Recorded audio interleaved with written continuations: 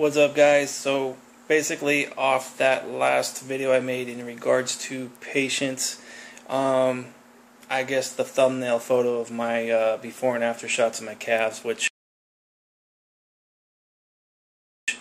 is basically 24 years of progress uh, doing calves.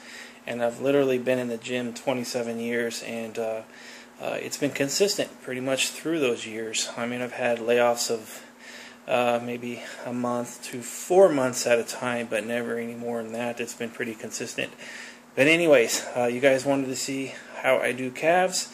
Uh, basically, it's pretty simple. I do standing uh, calf raises on my Smith machine. Um, basically, uh, my home gym, that's all I have access to basically is Smith machine standing calves, or I could use dumbbell with one leg at a time, but I find it a little more efficient if I use the Smith machine. So basically, that's all I do. I do uh, once a week, once every 10 days, 12 days, somewhere in there, I do calves.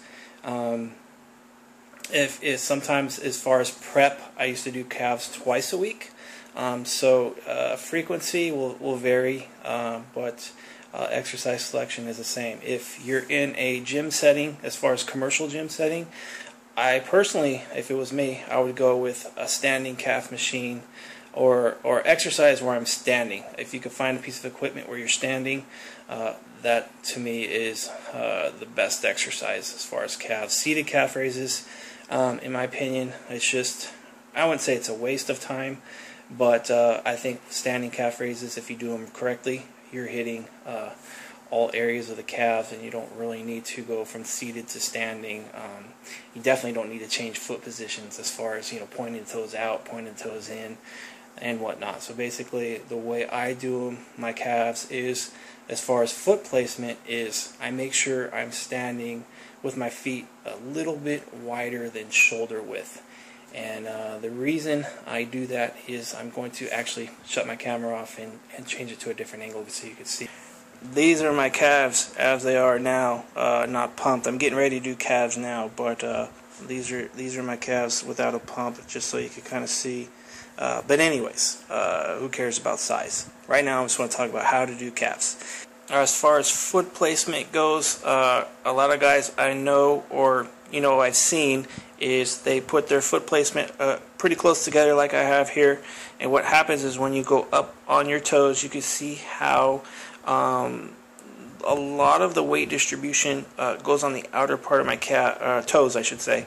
See how my foot kind of rolls outwards. Um, my ankles tend to roll outwards, and and that's uh, only basically hitting a lot of the outer head of my calf, and not so much the inner. Um, and that's where I think where uh, most guys get a little bit, uh, they go wrong a little bit, is because they don't get that inner head to contract as much. And then you also see a lot of uh, bouncing, um, which, in my opinion, is not the way to go. You want to make sure you get full range of motion and good contractions at the top. So, what I like to do is spread the feet out. So, um, I am shoulder width, uh, my feet are shoulder width apart, or they're slightly wider than shoulder width apart.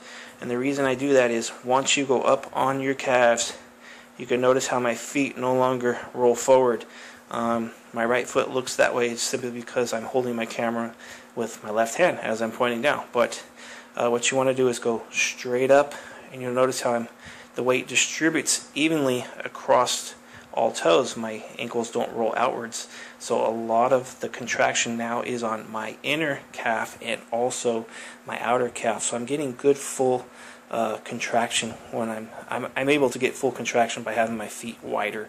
Um, so I think that's really helped my calf development is simply having my foot placement uh, shoulder width apart, uh, my feet pointing straight, and then just getting full contraction at the top and then going all the way down. Um, I don't bounce, like I said, like a bunny rabbit. Um, you know, leave that for the bunnies. Uh, but for uh, bodybuilding purposes, get full contraction at the top and then back down. Okay, so that's uh, that's why I like uh, to spread my feet out. I think you're going to be able to get um, better contractions. You're gonna you're able to get that weight distributed across all your toes. You'll be able to get more of the weight up on your big toe, which is going to help you contract that inner calf. And um, like I said, if your feet are too close together, um, once you go up on your your your toes, once you go up, you know, uh, contract up, you're going to only feel it pretty much in your your outer calf. You'll feel it a little bit on your inner, but the majority of it's going to be in your outer. You can, you can, as you're watching this, you can try it yourself. Just stand with your feet close together, go up on your toes all the way up, and you'll notice how your ankles will roll out. Um, if you spread your feet out, you're going to be able to go on all toes, mainly your big toe, pretty well. And uh, so that I think is a huge, huge difference in my calf training. And um, so yeah, so that's basically my foot placement. As far as sets, reps, um, sets anywhere from three to four. And as far as the rep range, I personally like low reps, four to six on calves. Um, with progressive overload, meaning I'm aiming to add weight to the bar. Um, I treat it just like uh, a power movement, let's say bench press or squats.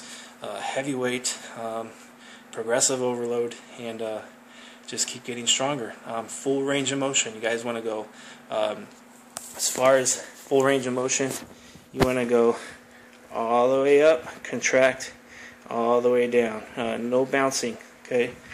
Uh, you guys don't want to bounce like a bunny rabbit. Um, just like any other body part, you want good form, full range of motion. And um, so, yeah, three to four sets, four to six rep range. Look to add weight to the bar when you can and keep getting stronger. Um, and basically, this is how I've been training my calves probably for the past, I want to say 12 years since I've had my own home gym, well 11 years now, is basically uh, progressive overload. Um, you know, Smith machine, three to four sets, four to six rep range, and um, yeah, and that's basically it. Um, my last contest prep in 2011, though, when I was training calves twice a week, um, I was doing uh, four to six rep range, and then the other workout was more like uh, eight to twelves. But uh, for the majority of my calf training, yeah, it's four to six rep range, and that's basically it. So I'm gonna get into do my sets here and uh, looking to pile the weight on the bar, see if I could add more weight than I did last time, uh, maybe five, ten pounds, and we'll go from there. All right, guys, that's it for my calf training. Hope that answers your question. So if you guys are struggling in the calf department, be patient. That's all I got to say. Be patient. Keep the keep the uh, training progressive, and uh, you'll get there. It just takes a little bit of time.